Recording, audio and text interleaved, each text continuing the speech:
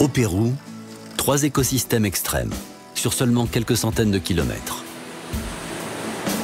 L'Amazonie, océan végétal, titanesque machine à produire les pluies tropicales, menacée par la déforestation. Les Andes, barrière à nuages et réservoirs d'eau, dont les glaciers sont fragilisés par le réchauffement climatique et le décalage des saisons. Et enfin, la côte pacifique, pour témoigner de cette biodiversité aussi foisonnante que menacée.